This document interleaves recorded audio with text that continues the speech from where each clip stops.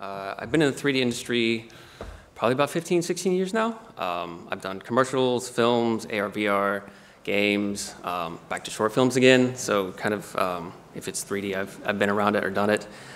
Um, I'm a principal art director for the FuzzyPixel team on uh, our Fuzzy Pixel uh, is a creative team within AWS.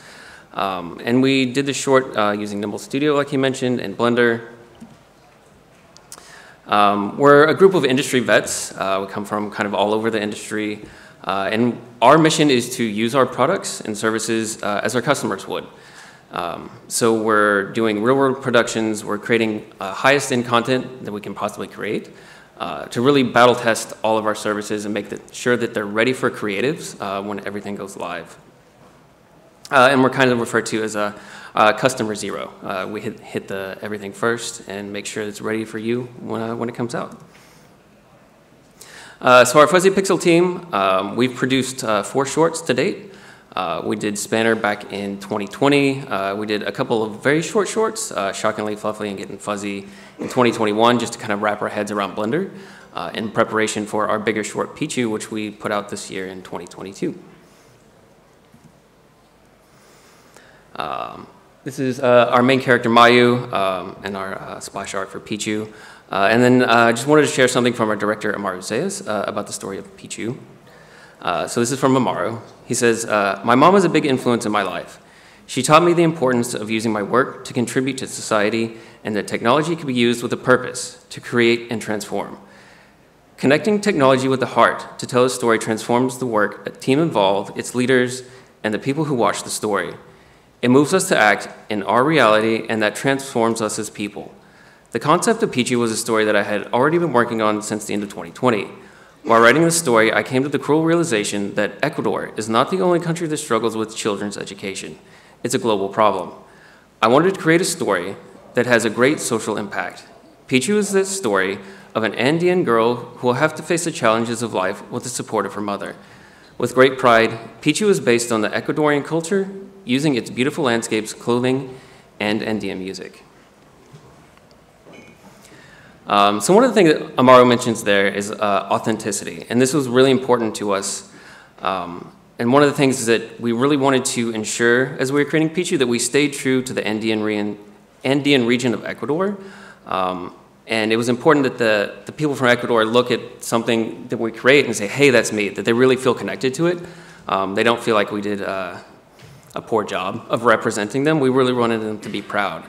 Um, and you'll both see and hear how we uh, explore the Ecuadorian culture throughout the architectural environment, clothing, um, and, uh, and the characters. And uh, to that end, um, we got uh, Amaru's mom involved. Uh, she uh, plays one of the characters, Kalpa. She plays the mother in the film. Um, is also our cultural advisor. So um, as doing anything with art, it all starts with reference. Um, I needed to immerse myself in the cultural aspects of the Andean culture. Uh, I'm looking for, like, to back up just a little bit, like I'm a character artist at heart. Uh, that's where I come from, and then we're doing production design for the film. So I always start with character. Um, so I'm looking at skin tones, uh, eye, nose, and mouth shapes. Um, you can notice things in the characters like they get very sun windburned cheeks, uh, and, th and, these things are very important to represent in the film. Um, we also got to learn things like uh, there's different ponchos between the boys and the girls. Uh, the girls ends up being more of a blanket that they wrap and pin together, where the boys' poncho is like a whole poncho that's all one contiguous piece. Um, and then hats and belts and all the costuming and things like that. Uh, and to that end, uh, I created a series of 14 speed sculpts, of which you can see a few here. Um, some of them pretty good, some of them kind of crap, to be perfectly honest. Um, uh, but that's important. Um, it's just try and fail and, until you get it right, basically. Um, so I started off with something more realistic, uh, as the top left one there, and then tried to push and pull. And you know, by the, the bottom left one there, I had something you know looking sort of decent, um, but then I really wanted to push it to something more unique, uh, create an own unique style for Picchu, and I ended up like pulling her face horizontally, um, created more of a chunky round style where everything's a little bit inflated, a little bit puffy. Uh, there's no hard edges to anything, like you'll see in some of the architectural and things like that later. Uh, and I hear like much larger bevels, slightly exaggerated proportions, Um, but we did want to have a material truth. Uh, so like the cloth feels like cloth, skin feels like skin. Um, the eyes use refraction shaders and things like that to pick up the light properly. Um, and then blending the style and realism together uh, to create our own unique look. This, uh, if I can get it to play, is a turntable of our characters. Uh, so Mayu there in the red poncho, Kalpa the mother, and then uh, her friend Saiwa in the uh, lavender poncho.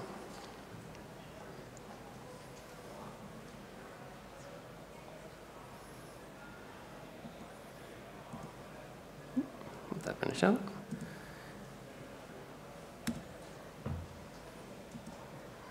How do I get this to move on? You just click to the next slide here, I can't. can't you? Oh, Yeah, Oh, here we go. Okay, thanks. Um, you can also see how uh, in the foliage, these are paper trees. Uh, it's very iconic to the region of Ecuador. Uh, they grow up in the high altitudes. Um, and then how we put a style pass on that. Um, the image on the left uh, is sort of a, a less stylized paper tree where there's lots of little leaves, like it's as many as it will normally have. Um, the leaf colors are more warm tones.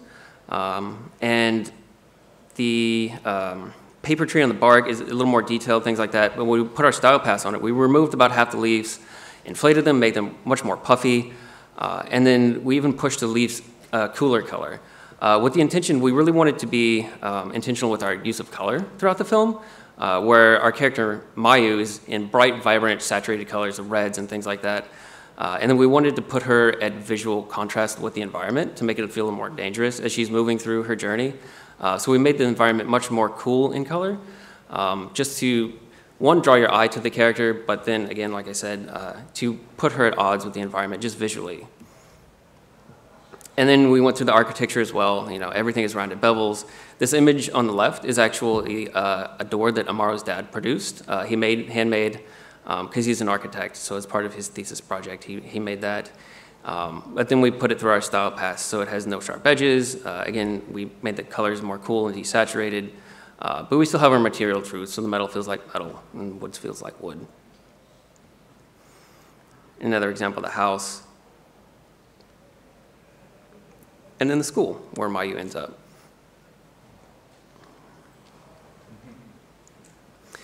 And then we also, like I mentioned previously, uh, we wanted even the music and the sound to be authentic uh, to the Ecuadorian culture. So we hired uh, local artists um, and singers. Uh, all the actresses uh, in the film are from Ecuador.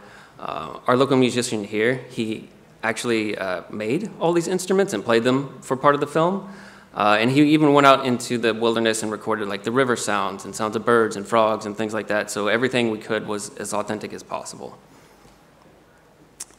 And then uh, at this point, I'll hand it back to Oleksii to talk uh, a little bit about the pipeline and things we use for Nimble. yeah, thanks.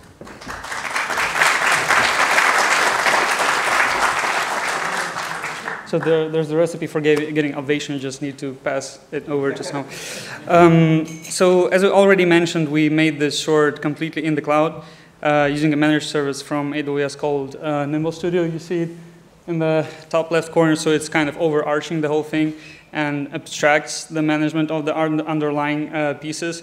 And these are depicted here, so we used uh, different workstations for the artists. Some of them were running Linux, some of them were running uh, Windows for different kind of DCC software that the artists uh, were using. Um, and yeah, I think uh, some of these Cris will go into some more detail later on. Uh, we'll we'll be milking this like ovation thing. Uh, so there will be a couple of transition. Um, but um, so before going into more detail on what Nimble Studio is and what it does, uh, let me take a step back and look at a typical pipeline for such a project. Uh, you might have seen this before, and this is an overly simplified version of uh, what's really um, happening on a, on a project. Um, so a movie consists of shots, and you move those through this pipeline, right? So um, you uh, need assets like sets, props, rigged characters, and so on. And these are created in advance. And then every shot goes from layout to animation to character effects and so on over to finally to editorial. And um, this is kind of linear, what we show here, but in reality, there are iterations in every step, correct? So you want to make it better and better and better, and the cycle repeats many, many times, and the more iterations you put into it, the better kind of quality level you end up with. Um, and this is an important point because the number of iterations that you can make usually depends on uh, kind of capacity that you have uh, in your underlying infrastructure. And um, this is important because like supporting this uh, pipeline is technology. So it's uh, artist workstations, uh, storage, so for assets, uh, asset repository, and render farm. Um, now that we speak about render farm, probably all of you know that, but let me just repeat it once again. So rendering is taking geometry, lights, and uh, camera relative locations and giving it to over to a machine, say, okay, compute what it looks like from the camera perspective. And usually, before it looks nice, this process is pretty time intensive. So for many films, it's uh, typical to have render times of a couple hours. Sometimes, like previously, we were talking about days of rendering uh, time per frame. And you'll know there's like 24, or at least 24 frames per second, sometimes more. And of course, it doesn't make sense to run it on the same local machine where the artist is working, so we offload it to a render farm. And um, render farms were logically the first component that studios tried moving into the cloud uh, because um, it has been one of the most prominent uh, bottlenecks in a studio's infrastructure mix. If we take a typical project, a studio usually starts having a certain pre-allocated server capacity. So over on the left side of the slide before things go wild. Um, and then they notice at some point that they run into a bottleneck of not having enough of this capacity. So artists uh, submit jobs. At, at some point, it's too much for the render farm to handle. Um, and all available resources are, are, consumed, and then artists have to sit around waiting for their renders to come back before they can continue with their job. Um, not very nice situation, and uh, uh, then the studio usually responds by adding some capacity, depending on the duration of a project. You do it several times, and then you uh, yeah, embark on this uh, game of catching up with the needs of the uh, production, adding capacity, and figuring out how to do it at the same time juggling other, other, other tasks that you, that you have. Um, so there are certain inefficiencies to this approach. So anytime the studio um, has too much capacity to fill. Uh, this represents the wasted resources, so these light areas where no jobs are submitted to use the capacity that we have in place. Uh, essentially, this is capacity that you're paying for but not using. And when there is uh, utilization above capacity, this means the studio is using all their resources, which is good, right? Uh, but this could be a potential bottleneck. So artists are waiting until jobs that, that are kind of going over the capacity uh, will render to continue their work. Now, the situation gets more dramatic if we take a typical real life project um, where everything results in a crunch.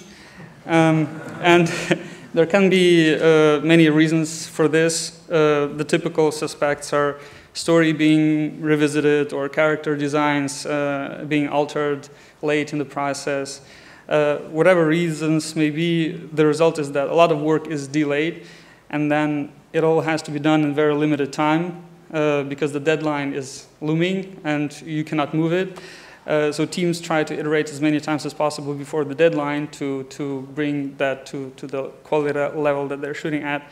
And yeah, so basically it's, it's a very difficult situation to handle. Um, of course, this was an awesome opportunity uh, for studios to turn to the cloud and use the virtual instances as render worker nodes. Um, this was a huge win uh, because it worked, and they began looking for other opportunities to move other infrastructure elements to the cloud too. But curious enough, uh, the studios didn't use cloud render farm quite the way we were expecting, or like they were expecting.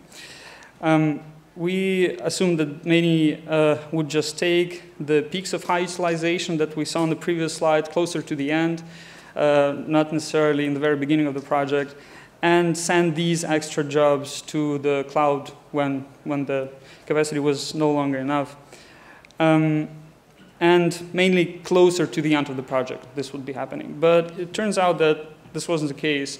Instead, studios spread out their jobs and took advantage of all this excess capacity at all times.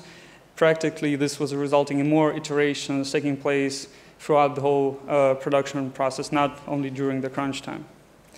And yeah, so this results in more iterations, more reviews, more notes, and higher quality overall.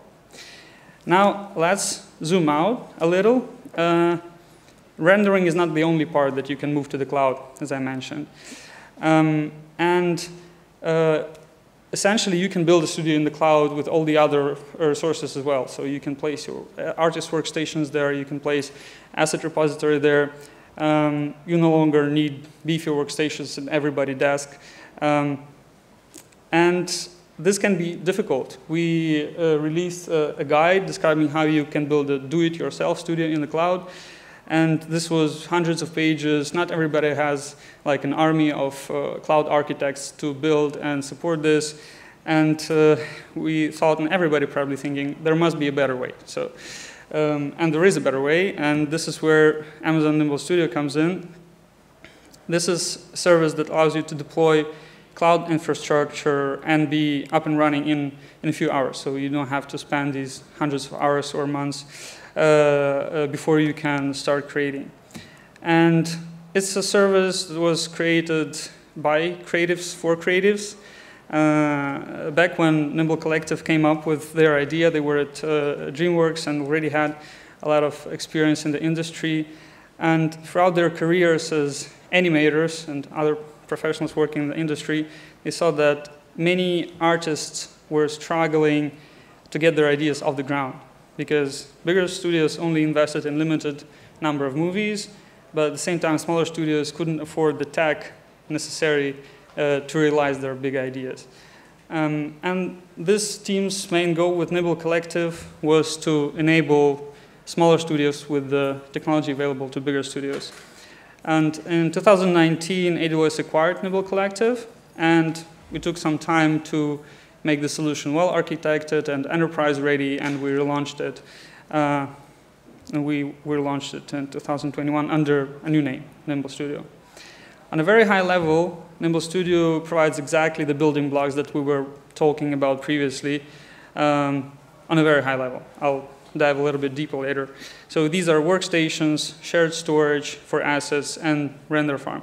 And important point, it's all in the cloud and, and on a uh, so you don't have to invest upfront uh, before you can start creating. If we zoom in a little, here's what a simplified architecture looks like. Uh, let's take it step by step.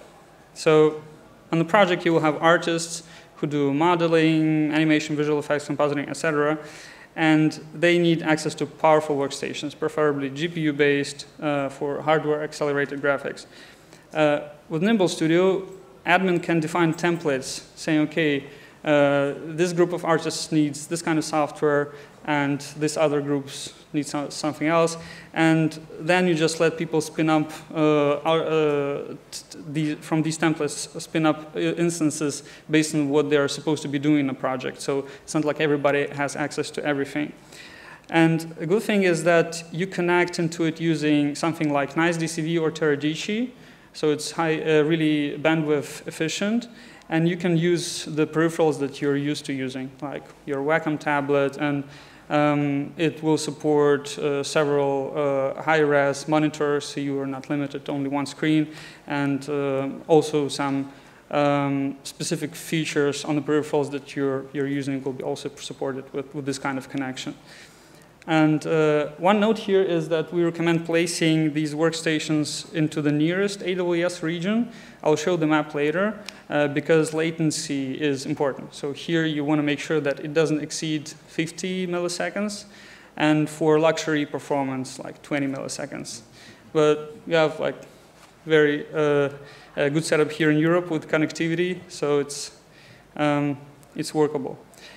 And uh, the left slide of this architecture diagram shows a mix of infrastructure components that the pipeline depends on.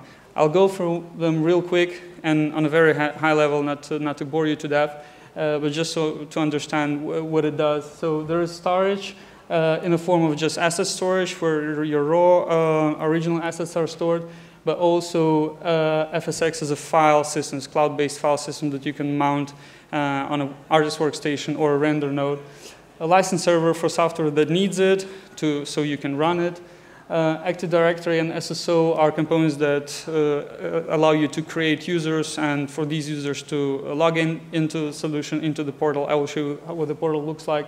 Uh, Deadline is our render management software, which is free for use on AWS, and the compute represents the actual worker nodes that the deadline wins, will spin up when you need to render stuff. And AMIs are the templates that you can create to, yeah, to include all the DCC software that you need. And you can actually customize it with plugins, typical plugins that you would use, and then reuse this customized template over and over for, for all artists who, who need it.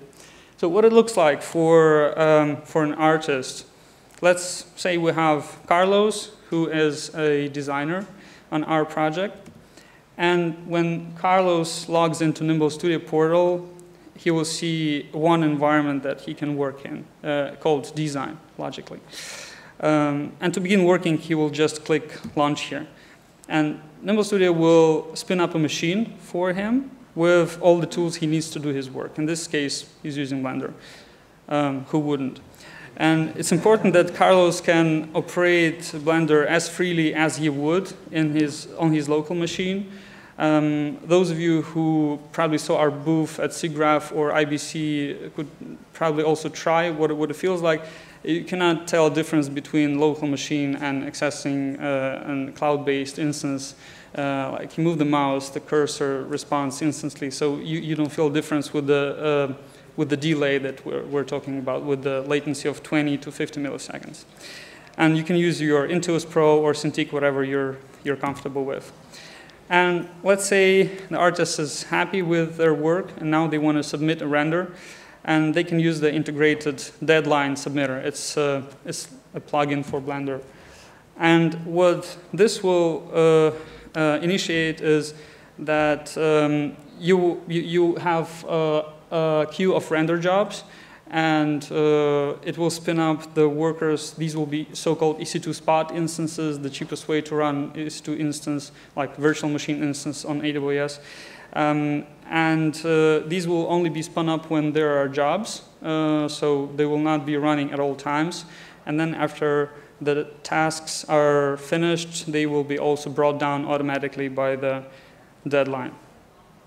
Important point is that instances are only used and launched based on what is in the queue. Uh, so it means that you only have a render farm when there is stuff to render. This is like a departure from where we were before. And this also means that when you're early on in production, um, the farm, um, so you, you aren't paying to, for render capacity that you're not using yet, right? And then a, when there's a crunch, you are able to scale um, as, as quickly and uh, as much as you need, depending on how much you screwed up with the planning. So now animation is a team sport, and it's not about one person um, being able to work, it's about multiple people being able to work together. So just as we have Carlos doing some design work, we may also want to have Anna to do some compositing. Uh, notice that her setup is, uh, it has more options than Carlos, is because she has more types of jobs that she can handle. So as a studio admin, I can create multiple environments and say, okay, this artist only gets one, and this artist can do more jobs, so she gets more. And uh, these environments will have the pre-installed software and so on. And it is configured in the form of so-called launch profiles. So you say, okay, uh, it will have this template, uh, it will have access to such and such uh, studio components like render farms, storage volumes, license servers, etc. And uh, artists will be able to uh, pick between such and such sizes of an instance. So you also have these guard, guardrails of who can launch um, different sizes of instances. So if you know that this group only needs to work with Photoshop, you probably will not give them like the uh, beefiest GPU-based uh, instance out there. And this is what it looks like for Anna. It's completely abstracted from her. So she can choose machine size, the template, uh, aka the launch temp, uh, the AMI, and uh, how to connect to it. She can use the browser or she can use a native client depending on whether she does feel like installing something on her machine or not. And uh, ultimately, the underlying complexity is abstracted, and Anna can focus on work, collaborate with Carlos. Even when they're both using different OSs, they can have access to the same assets because it's all in the cloud and interoperable. And one additional perk of running a studio in the cloud is improved visibility. Um, you, when you create studio resources, you can assign tags. And these tags allow you then to pull up reports. How much resources were used for which tasks, uh, how much render capacity you were running on uh, throughout the project. This will like give you visibility of how much you're spending and which tasks cost you most, for example. But also it will help you for the subsequent projects. You will have better visibility into the breakdown of your costs. Uh, before I hand it over to Cris again, uh, and I, I, want to stress one point. Uh, placing your instances uh, close to where your artists are is important, I would say crucial. Currently, Nimble Studio is offered in four regions across the US and uh, Canada. It's in London for Europe, and it's in Tokyo and Sydney for Asia Pacific. So expansion is planned, uh, but the current state of things is on the map. Um, now over to you, Cris.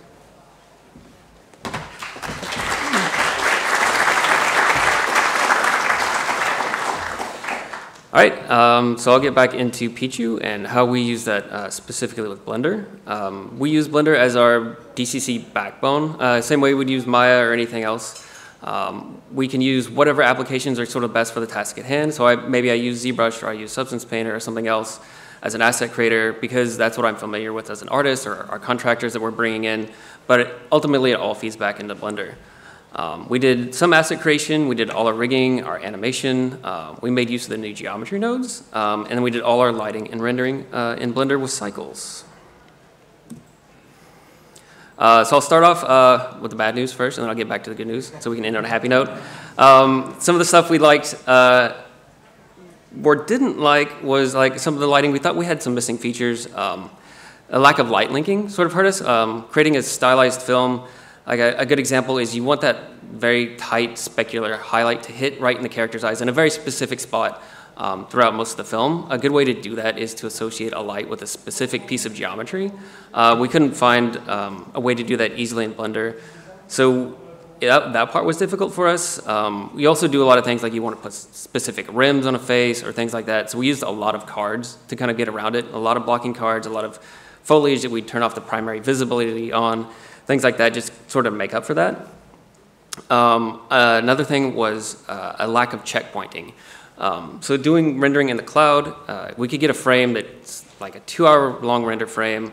It gets about 95% of the way through. You're like, okay, great. Uh, I'm almost done. I can start compositing. And then the instance is taken away from you because it's on spot. So somebody willing to pay more on demand, they take it from you. Um, with checkpointing, it would allow that frame to pick back up at 95%, um, but since Blender doesn't have that, it would start back over from zero. Uh, so you lose a little bit of rendering time there um, and can be a little frustrating. Um, also for hair, uh, we moved that whole pipeline for the most part into Houdini, um, just for the simulation and grooming. Um, we found it much easier that the, the grooming tools in Blender weren't quite of what we needed them to be uh, for creating braids and the hair that we were doing in the film.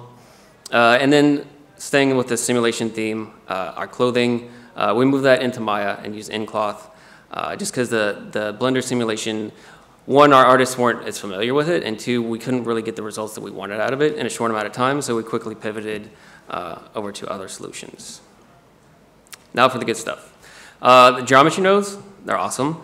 Um, uh, we use custom node setup for scattering, uh, some of the stuff we pull off the marketplace uh, that really allowed us to very quickly populate the foliage and all the rocks and things throughout our sets.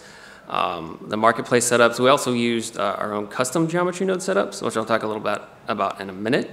Um, and then our animation, uh, one of the things that was pretty neat uh, is you could use uh, reference footage and the compositor uh, to very quickly put things together so the director can see what, what you're thinking uh, before you actually do the work, just to make sure everyone's on the same page. And you can move forward, more execution instead of kind of stumbling around and, and trying a bunch of things. Um, also, the pose library is pretty cool. So we could, uh, yeah. Thank you. Uh, and uh, we can, uh, you know, use the same poses on multiple different characters because we're using the same rig for basically all the same characters. Um, so we can have a key artist come in, do all the very nice poses, and then hand that out to all our contractors to keep everything on model as most as best possible. Uh, and then lighting with cycles. Um, uh, full disclosure, like I've been lighting in Arnold from Softimage and Maya and things like that. Uh, working in cycles, I actually found really, really nice. Um, the speed and stability uh, is oftentimes better in Arnold, in my experience, and working in Maya and things like that. Um, and the shader is, in my opinion, way better. Uh, Maya is pretty clunky and it has a lot of quirks that are just weird to work around, a lot of like just tribal knowledge how to make things go. Um, but Blender was very straightforward, easy to dive into, and I really enjoyed that part of it. Uh, so for our geometry nodes, um, our uh, effects artist Joaquin, he was able to create our own custom setup uh, for the snake grass that you can see in the film. Um, it's part of uh, this area that Mayu has to navigate through. But he was able to make it so that you could customize the size, the shape, uh, even the animation. So it had to blend to where, you know, when the grass is touching the ground, it's not bending, so it doesn't feel like it's, it's wiggling through the ground. Uh, but then up at the top, it's wiggling quite a bit as it's hitting the wind and things like that. Uh, and then also the marketplace tools that we're able to download to really speed up our production process. Uh, and then for animation, uh, I mentioned like using the compositor and the pose library. Um, has a nice, easy to use interface uh, and really smoothed out that whole process. Even because we had some animators that never animated in Blender before, but uh, get them in, get them working quickly, and uh, make the production nice and smooth. Uh, and here's a, a couple shots working through that animation process, and you can see um, uh, Jason, uh, he filmed himself, composited himself in, uh, so he can act out the part of Mayu. And it's like, is this what you'd like her to do? Is this the way you think she'd react? And show her mom, like, oh, I'm coming home from school. Like, check out what I did, mom. Um, but that, you know, it's a very nice and quick way to get on the same page, make sure everybody's thinking the same thing, and then you can move forward to execution. So you can move forward into the blocking pass, um, make sure everyone's cool with that. And they get a bit more polish. But at this point, you know, everything's still kind of penetrating each other with the cloth, things like that. And then you add the hair and the cloth, which just was a more complicated process. Um, if you want to know about it, you can talk to Jason later. But going back and forth between the mom touching the, uh, her daughter and her cloth, and uh, then the daughter touches her, and the back and forth between that has to happen with uh, cloth and animation uh, is pretty interesting. Um, but you can see the final result here.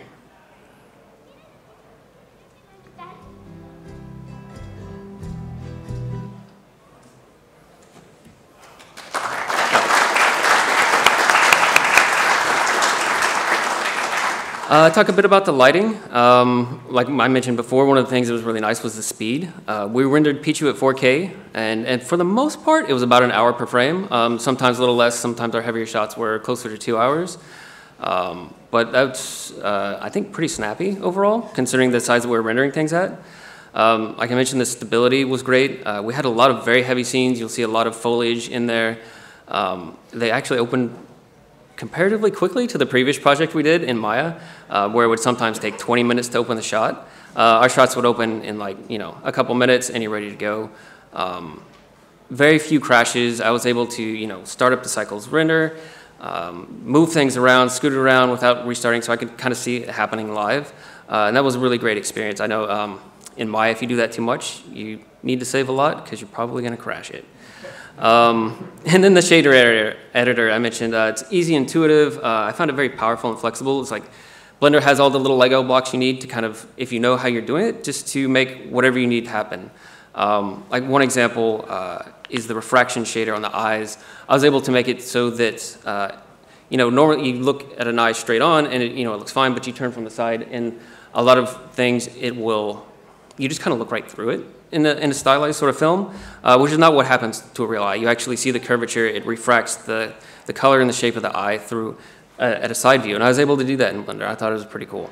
Um, and then we also used the uh, shader editor to mix um, the physical sun and sky uh, with HDRIs uh, for our lighting.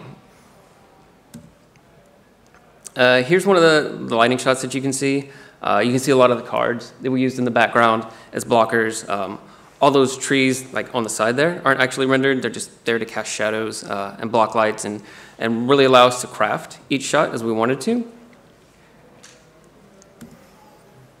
And then uh, we did our compositing in Nuke. I'm sorry. Um, but uh, we went into Nuke, and actually that pipeline was great because um, our, all our compositors, that's what we were comfortable with, that's what we knew. Uh, we needed to move fast, but the pipeline from going to Blender into Nuke was super easy, uh, and it allowed our artists to use the tools that they knew and were comfortable with. And we did our final color in DaVinci, um, just to get that last little touch of goodness, uh, make sure all the, the highlights are just right, uh, you're balancing all the colors with the character in the background, and uh, all those good things just to finish it off. And uh, at this point, I'll hand it back to Oleksii briefly uh, to talk about uh, moving your production to Windows. Don't go far away, I need you. So um, I just wanted to uh, say a couple words about bottlenecks. And uh, I brought a picture of bottlenecks. so I have all the components. So uh, the list here is your typical bottlenecks that you run into when you when you're running your on-prem infrastructure at a studio. But these are also kind of a list of things that um, people talk about when they say why uh, you cannot do animation in the cloud or why you cannot work remotely, and uh, like you will find articles on the web explaining why exactly it's impossible. Uh, most of these articles are pretty old, so um, yeah the laws of, uh, I don't know, it's, is Murphy's Law? It's, uh, no, it's another one. It's Moore's Law, yeah. you have to, got to know your laws. So, yeah. Uh, so it's, it's, it's progressing. So uh, uh, none of these things are showstopper anymore, and uh, just wanted to make sure we're all on the same page about that. Um, but it's not only technical bottlenecks that held studios back from, from realizing um, their, their big ideas. Uh, some of the bottlenecks are kind of non-technical nature, and I listed them here. And uh, curiously, or like interestingly enough, uh, cloud also helps solve those. So you have a bottleneck, for example, of location talent. So you don't, um, you, you, you, you're not limited to your local talent pool, but you can hire from everywhere. And uh, to the next bottleneck, time and money, they, you, you can start small in the cloud and you can take it from there, get up and running in, uh, in a short time, and uh, yeah, you can deliver with a higher quality level with the resources that you have. Um, you're not limited to your, to your one workflow that your existing infrastructure is limiting you to. You can try out real-time workflow, you can try out creating for AR, VR, for multiple different platforms, and if something goes wrong, some experiments don't work out, you can just yeah, you can just turn it down and uh, you're not you're not paying for it anymore. It's not standing there in your in your in your server room um, accumulating uh, dust, so and depreciating in the process, and. Um, yeah, and also security. So for a very long time, securing your IP was the topmost. It's still topmost, but um, it's uh, in the cloud, it's, it's, it's doable with a set of tools that you have there. And many people, uh, many companies who move from on-prem to the cloud, they say the level of security they are able to achieve in the cloud is uh, at least on a level, uh, if not higher. And uh, today we talked about content production, uh, how it can be done in the cloud, but um, our focus with media and entertainment doesn't stop there. Um, internally, we divide it into different other uh, areas uh, apart from content production. Um, there's uh, media supply chain, there's broadcast, there's direct-to-consumer and streaming, read Netflix here. Um, data science and analytics for media. These are different areas that we uh, internally at AWS divide media and entertainment um, industry in, into. And in every of these sections, we offer managed solutions similar to what you see with Nimble Studio. It's an abstraction layer that makes it easier for you to stay creative and, and do things you want to do without having to worry about the underlying building blocks and orchestrating those. So I encourage you to check, check those out, and there will be a link on one of the subsequent slides. And uh, over to you, Cris, again, for the last time. All right. Thank you, Oleksii. Um, so yeah, if you'd like to watch the short film Picchu, uh, it's on YouTube. Um, you can uh, hit the QR code here if you'd like to. Uh, please give it a look. Um, we think it's a, it's a nice looking film um, with a good message. Uh, it took us about nine months and 23, 25 artists uh, spread over six different countries. Um, and then part of our, our mission as FuzzyPixel is to consistently give back to the community. Um, so we've made uh, Mayu, the main character, uh, her notebook, and a tree branch available on GitHub. Uh, so you're free to download the assets, uh, play around with her, um, use her in Blender, you know, do whatever your little heart desires.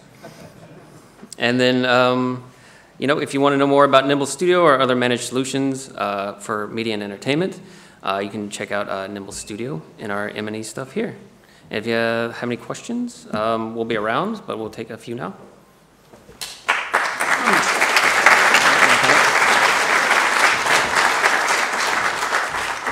Yeah. Uh, if you use Houdini, uh, how does it work for the licenses? Um, we have to pay for those licenses. Uh, we have our own license server uh, in the cloud, um, and then you know we just run it from there. As needed. Yeah. And do you have a distributed uh, simulation system for Houdini that can use send a simulation on multiple machines? Yes and no. Um, it was a little more manual. Um, we didn't have anything that was working like we could send it to the farm um, to do simulation type stuff. But what we could do uh, with Nimble is we could spin up multiple instances in the cloud. Uh, so our effects artists would uh, spin up like five or six machines uh, and then kind of hand distribute those to all the different machines there. Um, I was also, as a lighter, able to spin up two or three machines, and you know, um, you know, lighting kind of take a while sometimes. So I'd on one machine get something going, just let it do, so I can kind of see what it's going to look like in the end. Fire up another machine, get that going, uh, and it just allows us as artists to work much more efficiently. Okay, but we cannot combine multiple machines for one simulation. Um, the way we had it, no, currently, yeah. I, I imagine if you know what you're doing, though, you can make that work. Uh, yeah. Yes.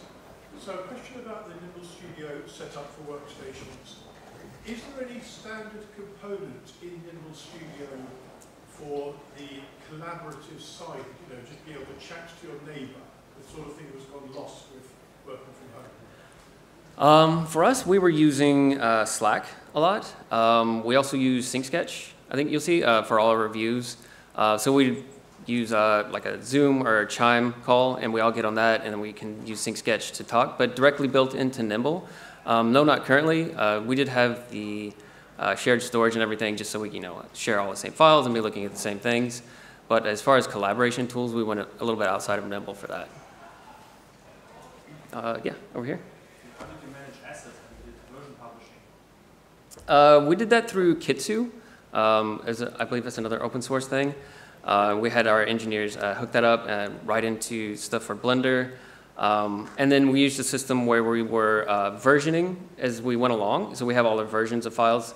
Uh, so we, you know, if we need to roll back, they're always there. But then we also had a, an unversioned file, uh, which is what we're using to link or reference into our Blender scenes. Um, that way you can open it up and you can always have whatever the latest uh, approved file is.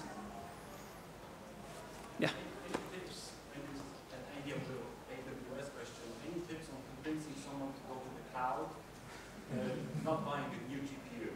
Because that's, I'm struggling with producers that say, well, let's just buy a GPU, we'll set it off, set it off later. And I'm like, oh, but the cloud is good also. So any tips on how to path? Uh, at this point, um, I don't know, with GPUs getting cheaper, that's a, a bigger debate, I think. Um, the nice thing is, like Oleksii mentioned, is that you can get rid of that GPU if you're not using it. Um, so you're kind of only paying what you're using for at the moment, uh, which can lower your costs a bit. Uh, but if you're using that thing 24/7, maybe uh, you know a different conversation to have.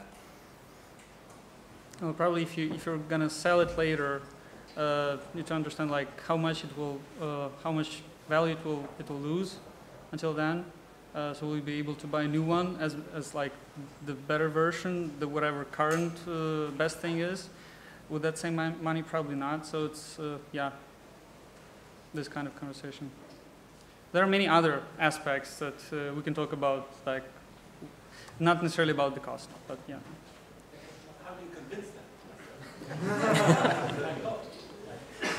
because, uh, you know, he takes over, like a producer will take over my 39 Ti on a remote connection, and that's it, right? And I'm stuck with that video, you know, for him to see my right? Mhm. Um, and I tell them, so let's buy a cloud solution. It's like, no, let's just buy another CPU. That's the way Uh, IP security is another point. Um, for example, with remote access that we uh, used uh, using NiceDCV, it's just pixel streaming. You're not downloading any assets on your local machine. So basically, assets don't leave wherever they're supposed to be, and this is another plus. So you don't have copies of your assets on everybody's machines in their homes. Are you TPN approved? Are we what? TPN approved? Are we? It's usually a conversation, because there's a shared security model. So usually you end up having a conversation with them, and they go through and analyze what you've set up. Uh, But we have to go through pretty crazy security in order to be able to actually get Nimble Studio out there, so. um, Best thing to do is you know, get together with uh, your solutions architects and sort of run through your system with them, to make sure everything is all. Okay. Yeah, I mentioned that Nimble Studio was revamped to make it well architected, and one of the so-called pillars of the well architected framework is security. So we made sure it, uh, it's up to the, to the standards of how you make things secure in the cloud, but when it comes to being uh, compliant with a certain standard, we need to go through the points and just tick the boxes and see together what we can do. Because Hollywood is really picky about uh, the security stuff. Oh, yeah. For sure. Uh, yeah.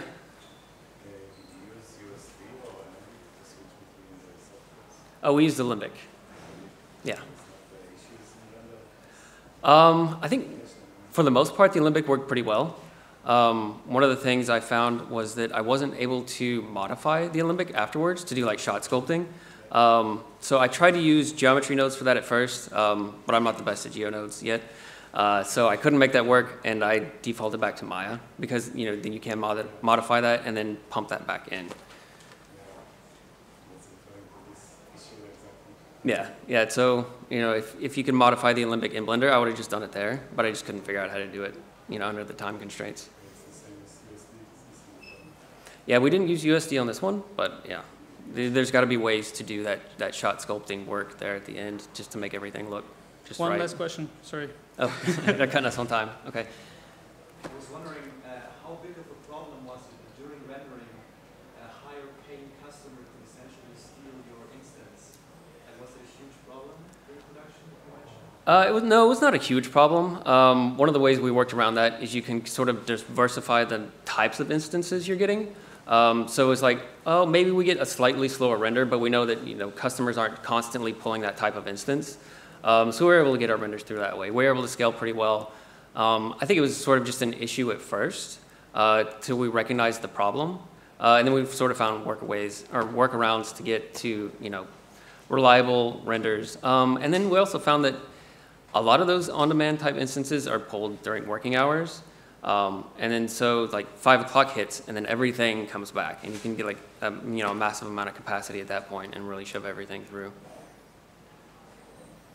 Cool, but uh, I think we're out of time at this point. Yeah. So uh, thanks everybody for showing up.